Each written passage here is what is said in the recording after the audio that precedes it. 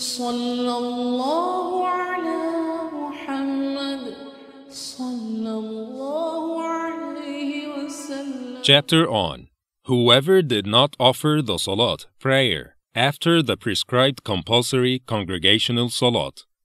Narrated Amr, may Allah be pleased with him.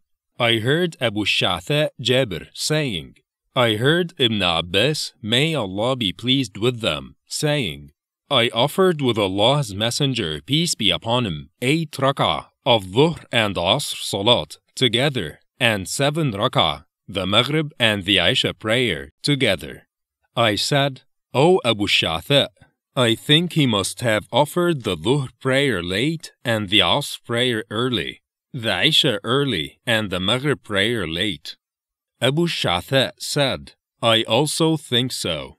See Hadith number 543, Volume 1.